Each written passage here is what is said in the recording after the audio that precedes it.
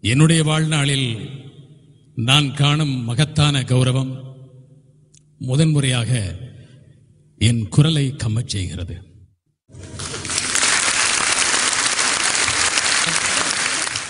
அரியா பருவத்திலே மேடை ஏறி பேசியவன். அப்போது நான் ஐந்தாம் வகுப்பு படித்துக் கொண்டிருந்தேன். என்னுடைய தமிழ் ஆசான் எனக்கு அகரத்தை ஆரம்பித்து வைத்த ஆவண்ணா பொன்னுத்துறை அவர்கள் இன்று அமரராகிவிட்டார். அவர் எனக்கு அந்த பேச்சை மனனம் செய்வித்த பின்பு ஒரு புத்திமதி சொன்னார். மேடை ஏறியதும் சபை கூச்சம் இல்லாமல் மேடை கூச்சம் இல்லாமல் பேசுவதற்கு ஒரு மந்திரத்தை நீ உன் மனதில் வைத்துக்கொள் என்று. என்னவென்றால் உனக்கு முன்னால் இருப்பவர்கள் எல்லோரையும் முட்டாள்கள் என்று நினைத்துக்கொள். அப்போது தைரியமாக பேசலாம் என்று. அரியா பருவத்திலே இந்த குருட்டாம்போக்கில் என்று சொல்வார்களே அப்படியே ஏற்றுக்கொண்டேன். அந்த தைரியம்தான் இன்று வரை தொடர்ந்தது. ஆனால் இன்று முதன்முறையாக மேடை கூச்சமும் சவிக்கூச்சம் மட்டுமல்ல.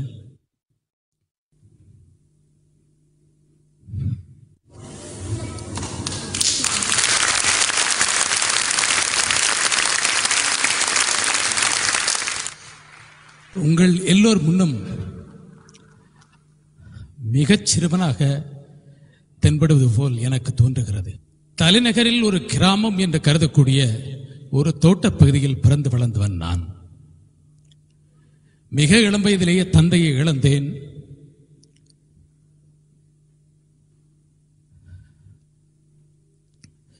வறிய குடும்பம் என்னை வளர்ப்பதற்கு என் அன்னை தினந்தோறும் காலை ஆகாரம் செய்து அதை பல வீடுகளுக்கு எடுத்துச் சென்று விற்று என்னை வளர்த்தார். அந்த அரிய பருவத்திலேயே வானொலி நிலையத்துக்கு செல்லக்கூடிய ஒரு வாய்ப்பு தற்செயலாக வந்தது. என்னை சிறுவர் மலர் நிகழ்ச்சி கலைத்துச் சென்றான் என்னுடைய பள்ளி தோழன் ஜோசப் எட்வெட் அப்பொழுதெல்லாம் அந்த நிகழ்ச்சிகள் நேரடி ஒளிபரப்பு. ஒரு பிழை கூட விட முடியாது. அந்த காலத்திலே வேடிக்கை பார்க்க சென்ற எனக்கு அன்றே ஒரு நாடகத்தில் நடிக்கும் வாய்ப்பு கிடைத்தது. அந்த வாய்ப்பினை எனக்கு தாரை பார்த்து கொடுத்தவன். இன்று இந்த மேடைக்கு வர முடியாமல் நோய்வாய்ப்பட்டு இலங்கையில் வாழ்ந்து கொண்டிருக்கும் என் உடன்பரவா சகோதரன் ராம்தாஸ் மரிக்கார் ராம்தாஸ். அதற்கு பிறகு அந்த குடும்பத்தில் ஒருவனாக நான் மாறினேன்.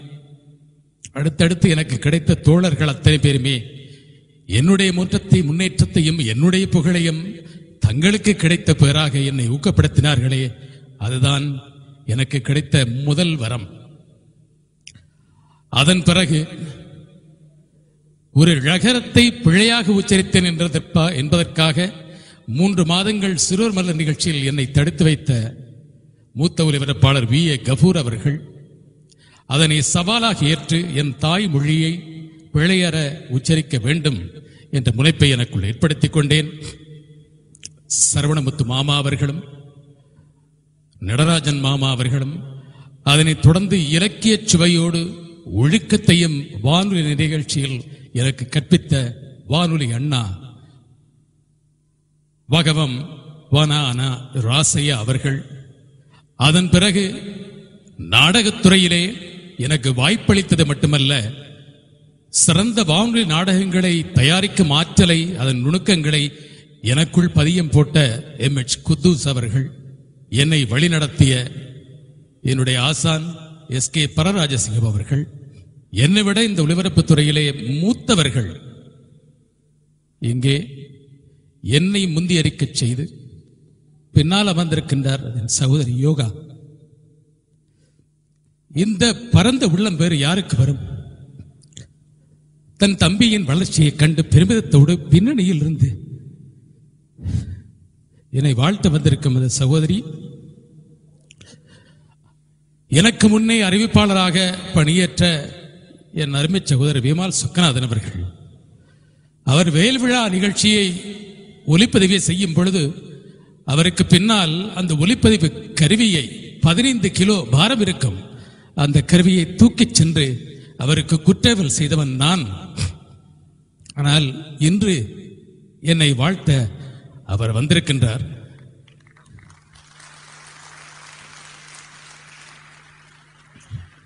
ஒளிபரப்பு குடும்பத்துக்கு ஒரு நல்ல தந்தை இன்றைய நிகழ்ச்சிக்கு தலைமை வகித்து சிறப்பு சேர்க்கின்றார். நடிகர் திலகம் சிவாஜி கணேசன் அவர்களுக்கு ஷெபாலியர் விருது வழங்கியதற்காக பாரதமே பெருவிழா எடுத்து கொண்டாடியது. அதே ஷெவாலியர் விருதை ஒரு ஈழத்தவர் புனித போப்பாண்டவர் அவர்களின் மூலம் பெற்றிருக்கின்றார் என்றால் அது ஈழத்தவருக்கு பெருமை. அந்த பெருமை பெற்ற ஒரு பெரியவர் அமுது புலவர் அவர்கள் என்னை வாழ்த்து வந்திருக்கின்றார். என்னை வாழ்த்து வந்திருக்கும் புலவர் ஸ்ரீலங்கன் விமானத்திலே நான் பறந்து கொண்டிருக்கும் போது கொடுந்தமிழ் கேட்டுக்கொண்டிருந்த காலத்தை மாற்றி அழுத்தம் திருத்தமாய் அழகிய தமிழ் ஒலித்தது. என் பக்கத்தில் இருந்த இந்திய நண்பர் என்ன அழகான தமிழ் யார் இந்த பெண்மணி? என்று கேட்டார். எனக்கு மிகவும் பரிச்சயமான குரல் என்றதால் பட்டண பதில் சொன்னேன். இவர் ஆனந்த ராணி பாலேந்திரா அவர்கள் என்று. கோமாளிகள் திரைப்படத்திலே பங்கஜமாக என் ஆத்துக்காரியாக அவர் நடித்திருந்தாலும் கூட அவர் இல்லறத்தில் இணைந்த நாடகத்துறைக்கு அளப்பரிய பணியாற்றி வரும் திரு பாலேந்திரா அவர்களுடைய வழிகாட்டல் எந்த அளவுக்கு அவரை வளர்த்திருக்கிறது என்றால் இந்த மண்ணிலே ஒரு சிறந்த செய்தி வாசிப்பாளராக நாடக மேடையிலே ஒரு சிறந்த கலைஞராக தன்னை நிலைநிறுத்திக் கொண்ட ஆனந்தராணி அவர்கள் ஒரு சகோதரனை வாழ்த்த வந்திருக்கின்றார். அதுபோல் தீபம் தொலைக்காட்சியின் பிரதிநிதியாக திரு முன் நித்யானந்தன் அவர்கள் வருகை தந்திருக்கின்றார். சன்ரைஸ் வானொலி மூலம் அதே வேளையில் தமிழ் கலைகள் வளர்வதற்காக உழைத்து வரும் கலாநிதி நித்யானந்தம் அவர்கள். ஒரு பொப்பிசை பாடகராகத்தான் நாம் அவரை அறிந்திருக்கின்றோம். ஆனால் உங்களில் பலர் அறியாத விஷயம். ஆஸ்திரேலியாவிலே பல்கலைக்கழகத்திலே இந்த இசை வாழ்வை விடுத்து பதினாறு ஆண்டுகள் வனவாசம் அல்ல அறிவை தேடும் அந்த பணியிலே அவர் தன்னை அர்ப்பணித்து வாழ்ந்தாலும் கூட மண்ணை மறக்காமல் இந்த மண்ணின் மைந்தனை மறக்காமல் அவ்வளவு தூரத்திலிருந்து வந்திருக்கும் ஒப்பிசை பிதா நித்தி கனகரட்னம் அவர்கள். ஒரு ஒலிபரப்பாளன் என்றால் எல்லோராலும் நேசிக்கப்பட வேண்டும். ஒரு அரசியல்வாதியைப் போல் அல்ல மாறிவிடக்கூடாது. அந்த தகுதிக்குரிய தமிழ் நேசன் தமிழோசையன் அதிபர் திரு ஸ்ரீஸ்கந்தா அவர்கள் வரையிருந்திருக்கின்றார் முன்னாள் அரசாங்க அதிபர் என் சகோதரி யோகா தில்லைநாதன் அவர்களுடைய அன்பு துணைவர் தில் தில்லைநாதன் அவர்கள். எனக்கு ஒரு மூத்த அண்ணனைப் போல் இந்த அரங்குக்கு தன்னுடைய உடல்நிலையையும் கருதாமல் வந்திருக்கும் என் அருமை சகோதரன் ராஜகோபால் அன்புக்குரிய சகோதரர் எழுத்தாளர் கவிஞர் திரு ராஜ மனோகரன் அவர்களே நீங்கள் உள்ளத்திலிருந்து வெளிப்படுத்திய ஒவ்வொரு வார்த்தையும் சம்பிரதாயபூர்வமான வார்த்தைகள் அல்ல. இந்த நிகழ்வு கடந்த ஆண்டு நடைபெற வேண்டும் என்று என் சகோதரர் எஸ் கே ராஜன் விரும்பினார். நான் தட்டி கழித்து வந்தேன். காரணம் நான் இந்த நூலில் எழுதியிருப்பதைப் போல் பாராட்டு விழா என்பது ஓய்ந்திருக்கும் காலத்திலே சாமரம் வீசுவது போன்ற ஒரு சம்பிரதாயம் என்று. ஆனால் இப்போதுதான் உணர்கின்றேன் இத்தனை பாராட்டுக்களையும் கேட்ட பிறகு சாதாரணமாக ஒரு குழந்தை நன்றாக வளர வேண்டும் என்று அக்கறைப்படுகின்றவர்கள் மற்றவர்கள் முன்னால் அந்த குழந்தையை பற்றி கொஞ்சம் அளவுக்கு அதிகமாக சொல்லி பெருமைப்படுவார்களாம். நீங்கள் வழங்கிய பாராட்டுரைகளை எல்லாம் கேட்கும்போது சம்பிரதாயத்துக்காக சொல்லவில்லை. இந்த பாராட்டுரைகளுக்கெல்லாம் தகுதி உடையவனாக இன்னும் என்னை வளர்த்துக்கொள்ள இன்னும் கொஞ்சம் காலம்தான் இருக்கிறது. மிக குறுகிய காலம்தான் இருக்கிறது. அதற்கு என்னை நெம்புகோலாய் உங்கள் உரைகள் என்னை நம்பி தள்ளுகின்றன. ஆகவே இன்னும் வேகமாக நான் உழைக்க வேண்டும் என்ற ஒரு அக்கறை எனக்கு வந்திருக்கிறது.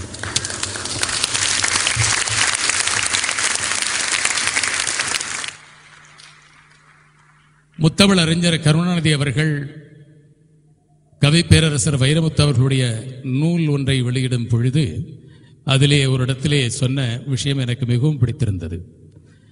காரணம் ஏற்கனவே உங்களுக்கு தெரிந்த ஒரு சர்ச்சை தான் சிங்கப்பூரிலே நடைபெற்ற ஒரு விழாவிலே வைரமுத்தவர்களை நடிகர் திலகம் பாராட்டும் போது கண்ணதாசனுக்கு முன்பு நீ பிறந்திருந்தால் அவனையும் வென்றிருப்பாய் என்று சொன்ன ஒரு வார்த்தை.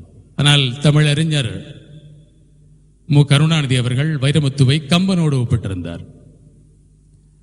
சர்ச்சை எழவில்லை. காரணம் அதற்கு அவர் சொல்லியிருந்த சமாதானம். நமக்கு முன்னே வாழ்ந்தவர்கள் நூறு கிலோமீட்டர் ஓடியிருந்தால் நாம் ஐநூறு கிலோமீட்டர் ஓடுவோம். ஆனால் எங்கிருந்து ஆரம்பிப்போம்?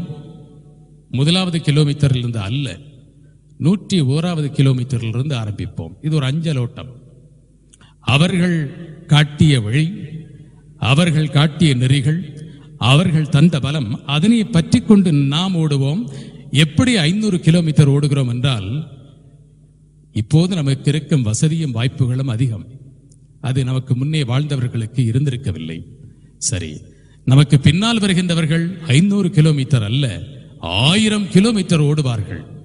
இந்த தலைமுறையோடும் நான் சேர்ந்து இந்த அஞ்சல புட்டு ஓட்ட போட்டியில் ஓட வேண்டும் என்பதற்காகத்தான் பாட்டுக்கு பாட்டு நிகழ்ச்சியை நடத்தி வருகின்றேன். ஆகவே நான் தெருவில் செல்லும் பொழுது ஒரு சின்ன குழந்தை கூட அது ஹமித் மாமா என்று சொல்கிறது அதில் கிடைக்கும் சுகம். அதில் கிடைக்கும் அந்த புத்துணர்ச்சி. நான் இன்னும் இளைஞனாக இருக்கின்றேனே என்பது போன்ற ஒரு உணர்வு என்னை முன்னே தள்ளி கொண்டு செல்கிறது. ஆகவே ஜனரஞ்சகமான நிகழ்ச்சிகளிலும் என்னை சம்பந்தப்படுத்திக் கொள்கின்றேன். அதிலே இன்னும் ஒரு நோக்கம் இருக்கிறது. கலைஞர் கமலஹாசன் சொன்னது போல் ஒரு சூழ்ச்சி. அந்த சூழ்ச்சி என்னவென்றால் எனக்கு இருக்கும் பெரிய கவலை புலம்பெயர்ந்த மண்ணிலே நம்மவர்கள் தமிழை வாழ வைத்துக் கொண்டிருக்கின்றார்கள். சந்தேகமே இல்லை. பத்திரிகைகள் வானொலி தொலைக்காட்சி என்று. ஆனால் இத்தனையும் அடுத்த தலைமுறையை நோக்கிய பார்வையாக இல்லையே என்ற ஒரு மனக்குறை இருக்கிறது. கனடாவிலே ஸ்ரீ அவர்களுக்கு தெரியும் பெரும்பாலும் இந்த வானொலியை கேட்பவர்கள் பெரும்பாலும் யார் என்றால் தாய் நாட்டிலிருந்து தாய் தந்தையரை வரவழைத்து வீட்டுக்குள்ளே வைத்து சில வேளை வீட்டை பூட்டிவிட்டு வேலைக்கு செல்லும் பிள்ளைகள் இந்த தாய் தந்தை அவர்களுக்கு துணையாக இந்த வானொலி இருக்கட்டுமே இந்த தொலைக்காட்சி இருக்கட்டுமே என்று அந்த வசதியை செய்து கொடுத்திருக்கின்றார்கள். அவை அடுத்த தலைமுறையை நோக்கியதாக நமது பார்வை இருக்க வேண்டும் என்றால் முதலில் அகரத்தில் ஆரம்பிப்பது போல் அறிவறியில் ஆரம்பிப்பது போல் நாம் ஆரம்பிக்க வேண்டும். அதற்கு இந்த ஜனரஞ்சகமான ஊடகங்கள் ஜனரஞ்சகமான நிகழ்ச்சிகள் அவசியம். இன்று நிலை என்னவென்றால் I am a Tamil but I don't know Tamil என்று சொல்வதை பெருமையாக நினைக்கும் ஒரு பரம்பரை வளர்ந்து வரக்கூடாது என்பதுதான் என்னுடைய கவலை. ஆகவே ஜனரஞ்சகமான ஊடகங்களின் மூலம் அவர்களை ஈர்ப்போம். அவர்கள் முதலில் தமிழை உச்சரிக்கட்டும். அதுதான் மிக முக்கியம். அந்த தமிழை உச்சரிக்கும் போது அதை சரியாக உச்சரிக்க வேண்டுமே. அதற்கு நமது ஊடகங்கள் பயன்பட வேண்டும். ஒரு குழந்தை எப்படி பேச கற்றுக்கொள்கிறது? காதில் விழும் ஒலிகளை கேட்டு அதனை பிரதிபலிக்க முயற்சி செய்யும் போது ஆகவே செவி வழியாக செல்லும் இந்த ஊடம் ஊடகம் மிக சக்தி வாய்ந்தது என்பதால் அந்த ஊடகத்துக்குள் என்னை சம்பந்தப்படுத்திக் கொண்டிருக்கின்றேன். அதில் ஒரு கன்னி முயற்சியாக இப்போதுதான் ஒரு இணையதளத்தை ஆரம்பித்திருக்கின்றேன். அந்த இணையதளத்தையும் ஆரம்பித்து வைக்க எனக்கு தூண்டுகோலாக விளங்கியவர் கனடாவிலே கம்ப்யூட்டர் லிங்க் என்ற ஈழத்தவரின் ஒரு பெருமைப்படக்கூடிய ஒரு கணினி பொருள் விற்பனை நிலையத்தை நடத்தி வரும் திரு ரவி சிவா அவர்கள். அந்த இணையதளத்தின் ஊடாக பல வானொலிகளை ஒன்றிணைக்க வேண்டும் என்பது என்னுடைய ஆசை. இதில் ஒரு சின்ன பரீட்சாத்தமாக ஒரு சில பகுதிகளை ஒலி வடிவிலே நாம் தருகின்றோம். இப்படி என்னால் இயன்ற முயற்சிகளை நான் செய்து வருகின்றேன். இந்த மலரிலே ஒரு சின்ன ஒரு கல்லை விட்டறிந்திருக்கின்றேன். பெரியவர்கள் படிக்க வேண்டும். ஒரு சிந்தனை கல்லை அதை நான் குறிப்பிட்டிருக்கின்றேன். கிணற்றில் எரியவில்லை எறியவில்லை குளத்தில் எறியவில்லை தமிழ் சாகரத்தில் கடலில் எறிந்திருக்கின்றேன் சின்ன கல்தான் அதில் அந்த அலைகள் தமிழ் வளரத் தடையாக இருக்கும் கரைகளை உடைக்க வேண்டும் என்று கேட்டிருக்கின்றேன். கல்வித்துறையிலே தமிழ் வளர வேண்டும் என்று ஒரு சின்ன சிந்தனையை விட்டிருக்கின்றேன்.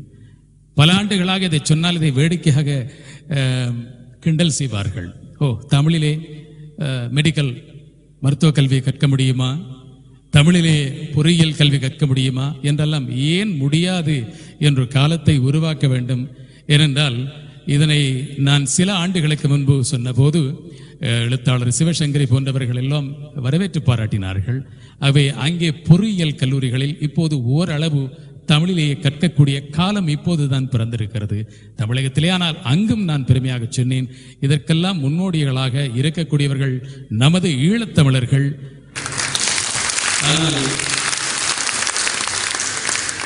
நாம் எதிர்பாராத விதமாக நம் மண்ணிலே சூழ்ந்த போர் மேகங்களின் காரணமாக எத்தனையோ அறிஞர்கள் அந்த மண்ணை விட்டு புலம்பெயர்ந்து சென்று அந்நிய சூழலிலே பன்மொழி கலாச்சாரத்தின் மத்தியில் வாழ்ந்து கொண்டு என்ன செய்வது என்று யோசித்துக் கொண்டிருக்கின்றார்கள்.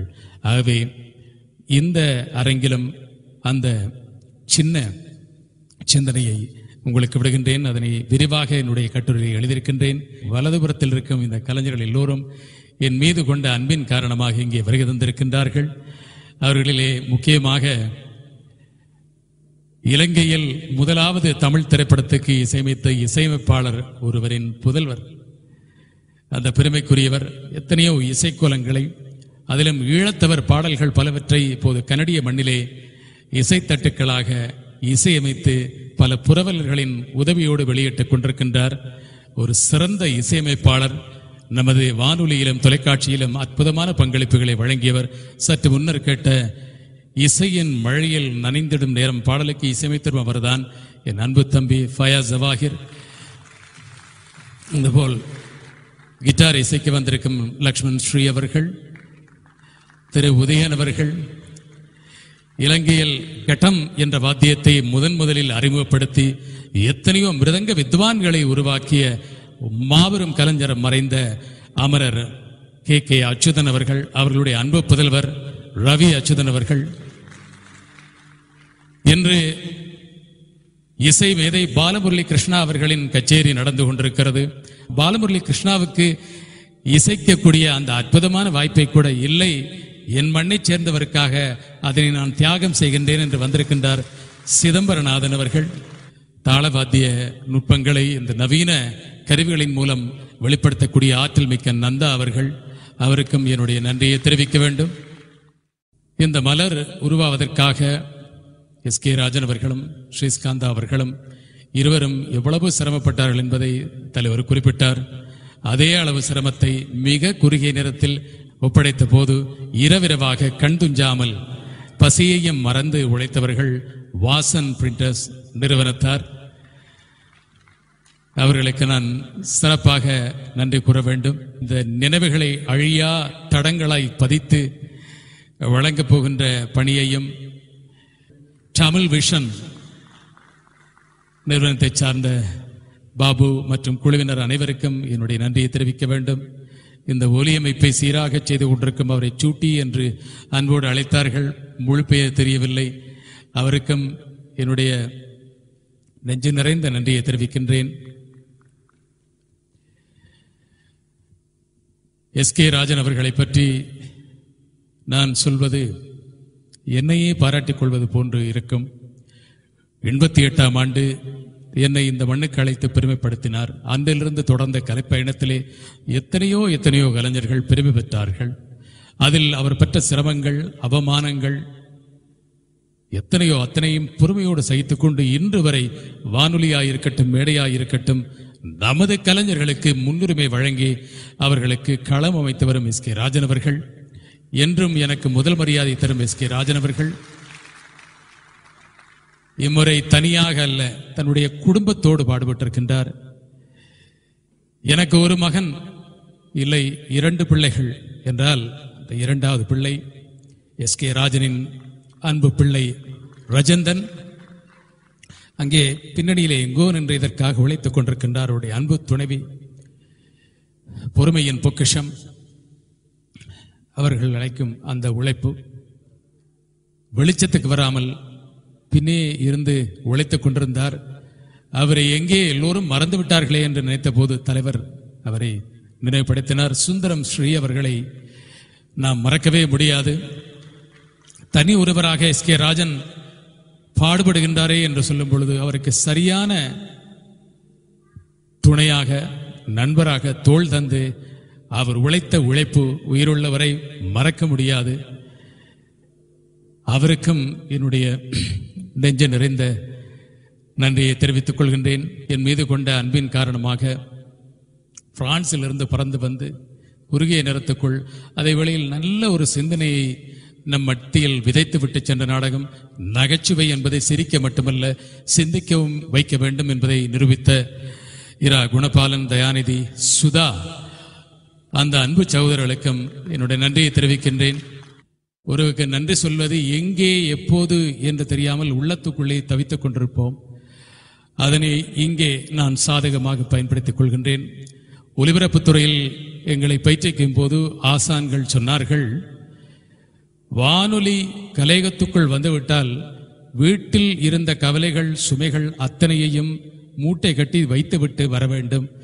ஏனென்றால் அகத்தின் அழகு முகத்தில் மட்டுமல்ல குரலிலும் தெரியும். ஆகவே குரல் மூலம் வெளிப்படும் உன் உள்ளத்துக்குள் இருக்கும் சோகம் சுமை அத்தனையும் என்று. அப்படி அன்று என்னை பழக்கப்படுத்திக் கொண்டேன்.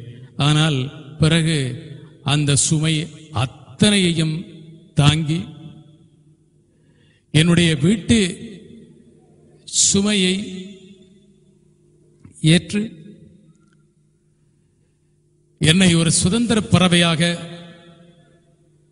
தமிழ் உள்ளங்களை சந்திக்கும் வாய்ப்பினை சுதந்திரமாக அனுபவிக்க தந்துவிட்டு என்னை தாங்கிக் கொண்டிருக்கும் என் மனைவி.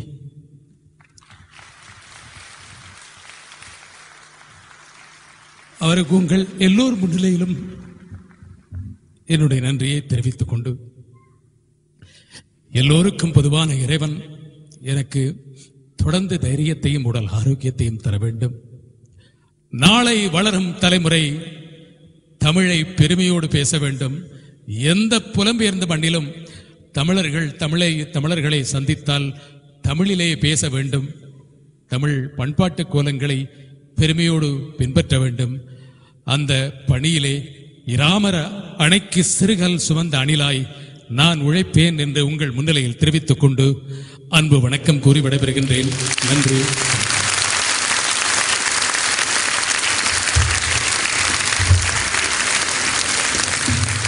ஒலிக்களஞ்சியம் என்கின்ற இணைய வானொலி என்று உங்கள் மத்தியிலே அறிமுகமாக இருக்கின்றது. நீங்கள் இன்று முதல் W W W dot Abdul Hameed dot com என்ற முகவரியிலே இந்த இணைய வானொலியை நீங்கள் கேட்கலாம். அதனை ஆரம்பித்து வைப்பதற்காக நாடக ஆசான் ஏசி தாசிசிஸ் அவர்களையும் அழைக்கின்றோம்.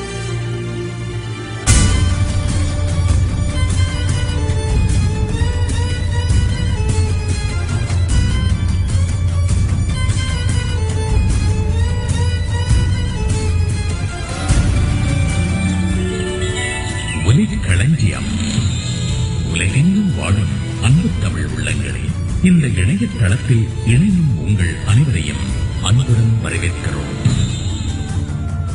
இதிலே ஏழு தொடர்பு பக்கங்கள் இருக்கின்றன.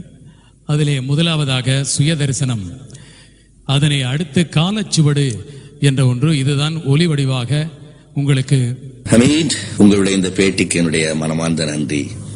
உங்களை இலங்கை ரேடியோவிலிருந்து வந்தவர் என்று சந்திப்பதை விட உங்களுடைய நாடகத்தை நான் இலங்கை வானொலியிலே அடிக்கடி கேட்பவன் உங்களுடைய ரசிகன் என்ற முறையிலும் இதற்கு நான் பதில் சொல்ல காத்துக் கொண்டிருக்கின்றேன். அதனை அடுத்து என்னுடைய வாழ்க்கையை வளர்ப்பு நேருக்கு நேர் என்ற ஒரு பக்கம் இந்த எண்ணங்கள் என்ற பக்கத்திலே நானும் எழுத்தாளனாக முயற்சிக்கின்றேன். அதனை அடுத்து இசைச்சோலை என்ற ஒரு பகுதி இதுவும் ஒலி வடிவாக நீங்கள் கேட்கக்கூடியது. இதிலே நான் இயற்றிய பாடல்கள் சில உண்டு. அதிலே டி எம் சவுந்தரராஜன் அவர்கள் பாடிய பாடல் அந்த பாடலுக்கு இசையமைத்தவர் இங்கே என் முன்னால் இவ்வளவு நேரம் அமர்ந்தார். நமது மண்ணை சேர்ந்த பஞ்ச் அவர்கள் எஸ் கே பஞ்ச் அவர்கள் தயவு செய்து மேடைக்கு வாருங்கள். வாணி அருள் தரவாணி கலைவாணி தரவாணி இந்த உலகின் வசமா இசை பாடவாணி அருள் தரவாணி வாணி. அருள் தரவாணி தெனாலி திரைப்படத்தில் ஆலங்கட்டி மழை தாலாட்ட வந்தாச்சா? என்ற பாடலில் நமது யாழ் மொழி வழக்கில் இனிக்கும் வரிகளை அடியேன் தான் இயற்றினேன்.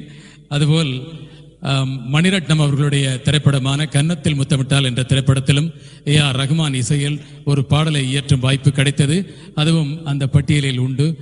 அதுபோல் பல நமது ஈழத்து பாடல்களும் அங்கே உண்டு. நினைவுத் திரையை தொடர்ந்து தொடர்பு கொள்ள என்ற ஒரு பக்கத்தை வைத்திருக்கின்றேன். என் மூலம் கிடைக்கும் பணி உங்களை வந்து சேர உங்கள் தேவைகளை எனக்கு தெரிவியுங்கள். உலகத்தமிழ் ஊடகங்களை குறிப்பாக வானொலிகளை இணைக்க எண்ணியிருக்கின்றேன். இறைவன் அருள் இருந்தால் சாத்தியமாகும். இதுவே என்னுடைய இணையதளம். வானொலி தமிழ் வானொலி வரும்